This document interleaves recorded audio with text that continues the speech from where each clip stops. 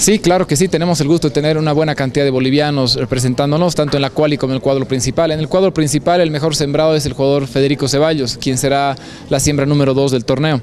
Eh, también por mérito propio entra el jugador Alejandro Mendoza, el segundo jugador boliviano que estará dentro del cuadro principal por mérito propio.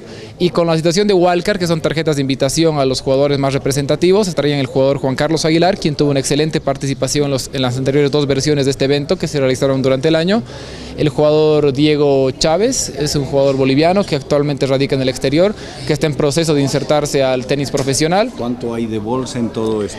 Es un torneo de 10 mil dólares de bolsa que se reparte, bueno, dependiendo el nivel del jugador que llegue, eh, en, en todos los que hayan ganado al menos un partido.